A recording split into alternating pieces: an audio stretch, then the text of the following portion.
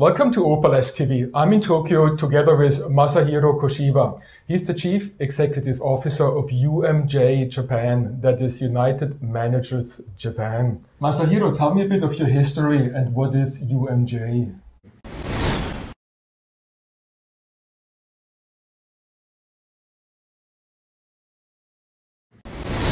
Talking about my background, I've been a fund manager for since uh, 1990 when uh, Nikkei was peaked at the 38,000 levels. And uh, since then, you know, uh, Japanese equity market has on a long-term downtrend. First 10 years is actually, I was fund manager taking a long only strategies. But fortunately, uh, I moved to uh, long short areas in year 2000 and last 13, 14 years actually uh, I've been on the hedge fund side and also uh, taking a long short strategy for Japanese equities.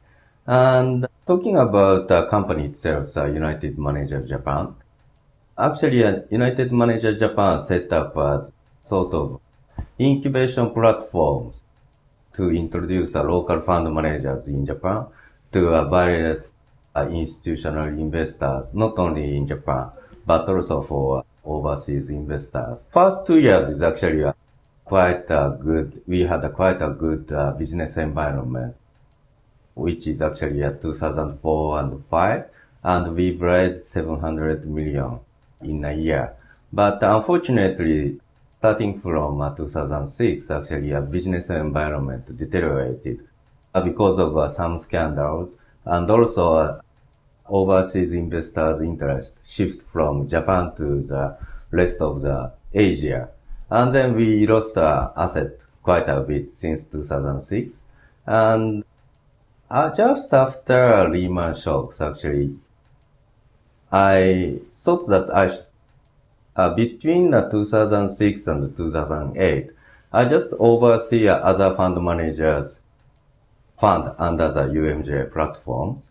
But because the asset size for fund, other fund managers on the platform declined. So for me, it's very natural to come back to uh, real fund management.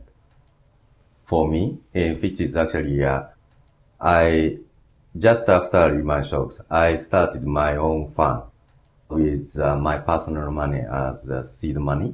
And since then, November 2008, actually, for the last four years, actually, I've been managing my own fund, which is called the UMJ Kotoshiro Fund. So let's talk about the Kotoshiro Fund, right? Yeah. You set it up end of 2008. And when I look at the numbers, it's really an extraordinary fund because you only had one down year, which was like minus 2.75, which is much different to other Japanese hedge funds, which mm-hmm. in that year lost a lot more. Mm-hmm. So tell us more about your strategy here yep. and your risk management. My fund is actually a strategy, is actually a Japanese equity long short strategy. And I started just after Lehman shocks, right? November 2008. And initially, because of quite a volatile market at that time, I took a very conservative stances and tried to manage daily volatility of the portfolio within a very tight range and which is actually between plus 30 base point and minus 30 base point.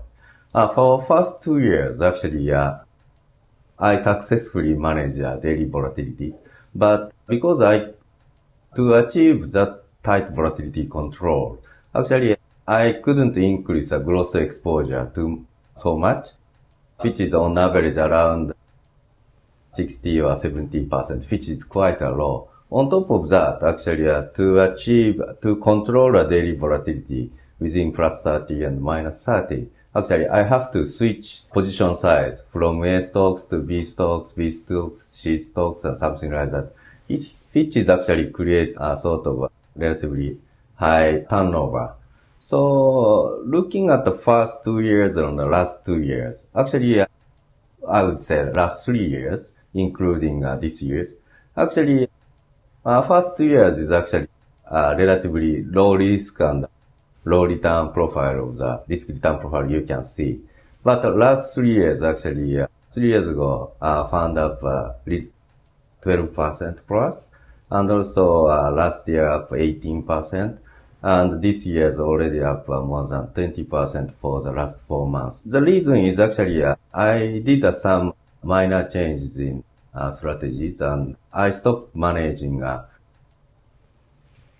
daily volatility, tight daily volatility control uh, two years ago. After that, actually, uh, looking at my competence for the last 23 years as a fund manager, actually, most important one is actually stock picking. I want to create constant monthly returns around 1 to 2%.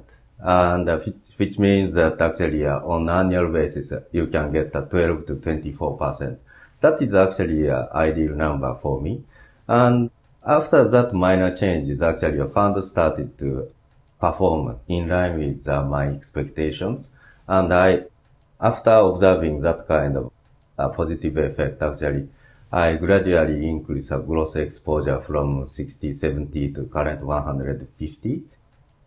And also, I reduce turnovers. And the combination of uh, these two minor changes actually a fund performed relatively well for the last three years. And this year, as you know, actually after Abenomics, actually market became uh, quite active. Although I didn't take so much uh, market risks and my portfolio beta is kept around 0.1. So in that sense, actually, uh, we've already seen uh, more than 50% jump up in indexes in Japan. And, but on the other hand, I just take 0.1% market risk. Right now, who are the investors in your fund? And recently, have you been getting more interest from overseas investors?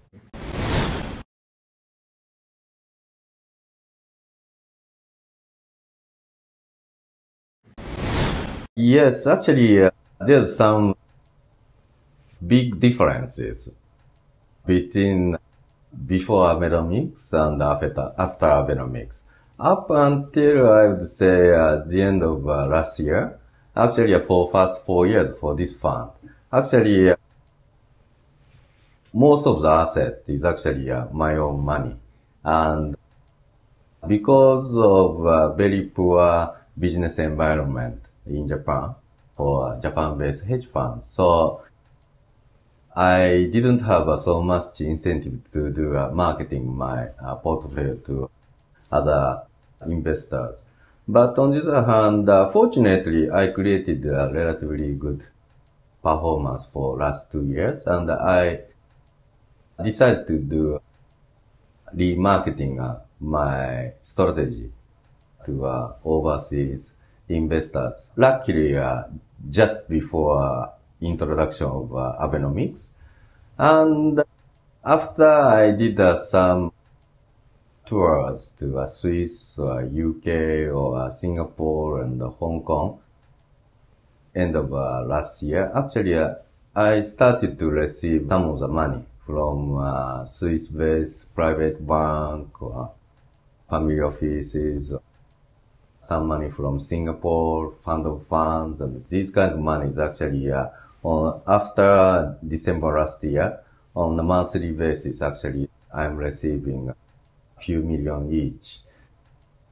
So at the end of last year, fund size uh, just 25 million US, but now grew to uh, 50 million with the new money plus uh, organic growth. As a hedge fund manager, how long do you think does the current market run in Japan go? Mm-hmm. Or how long do you think you can benefit from this environment? It's a quite a difficult question. Um, actually, I am a stock picker, so to predict the future level of uh, index is not uh, my areas. But on the other hand, looking at uh, what Mr. Abe uh, tried to do, and also if you look at the first new governor of uh, Bank of Japan, Mr. Kuroda, what he did, he tried to do, is actually uh, they saying that targeting a 2% inflation rate within uh, two years. And to achieve that, actually, uh, Mr. Kuroda said, I want to do whatever I can. And then, first week of April, Bank of Japan announced that they will increase uh, monetary basis. They will make it double in uh, two years from 130 trillion yen to 270 trillion yen. And also, not only buying JGB, but also they will buy ETF and REIT and try to influence equity market as well as a property market through ETF and also a. So I think that another two years, what will happen is actually uh, Bank of Japan will buy a JGB from banks, right? And the amount of uh, money for buying JGB is actually quite huge. Actually, they said 50 trillion per year for next two years. In total, 100 trillion yen. And to make a property market actually a bubble, actually uh, probably you just need uh, 10% or 20% of 100 trillion yen. And not only for property market, but also for equity market. Actually, uh, it will have uh, probably huge impact.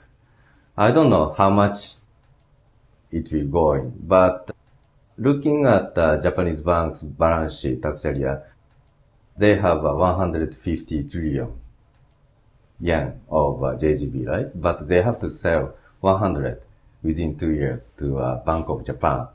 So this, the 100 is actually uh, coming to their savings account, a current account, right? And they have to, they want to lend it to uh, domestic players or investors, or property investors, also manufacturing companies or everywhere.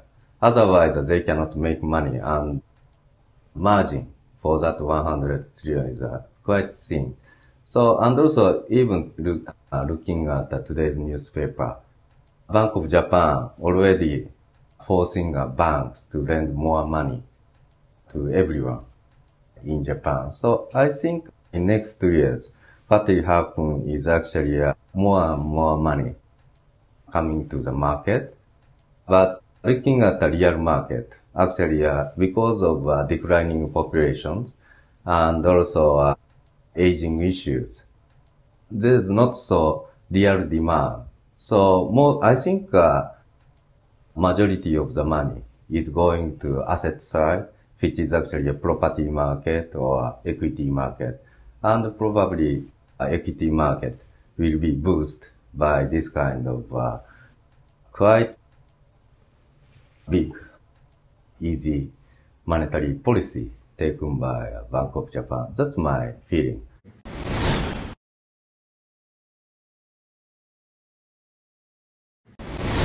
Talking about impact on my portfolios, actually, uh, as I said, my activities actually uh, try to find good stocks based on uh, fundamental approaches.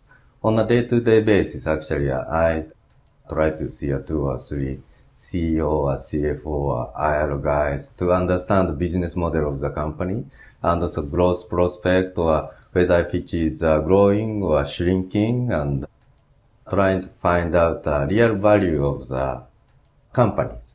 And then there always there will be a, a difference between the current stock market price and my view of the value of the companies, right? If value of the company is much higher than current prices, that name is going to long side. But the other way around, actually, that name is actually going to short side. And fluctuation of this deviation is actually a source of the uh, return for my uh, fund. So in that sense, actually, as I said, I'm not taking so much market risk and the beta for the portfolio is actually kept around 0.1. Also, I have uh, around a little bit more than 40% net exposures, but uh, looking at difference in the beta for long and short. Long portfolio beta is 0.6 and short portfolio beta is 0.9. So eventually, uh, I just have very small uh, market risks. Uh, but on the other hand, uh, because of Abenomics, market is actually uh, become quite active. So, so impact for my portfolio is actually fluctuation or narrowing uh, this gap is actually uh, speed up by uh, more and uh, quite active uh, market conditions. That's why actually uh, on the normal cases, probably expected return for my fund is actually, as I said, 1 to 2% constant monthly return and annual base 12 to 24, right? But now I've already seen after Abenomics, actually my fund already up uh, more than 20% for uh, last four months. So that kind of positive effect is actually I'm having from uh, Abenomics and new Bank of Japan's policy.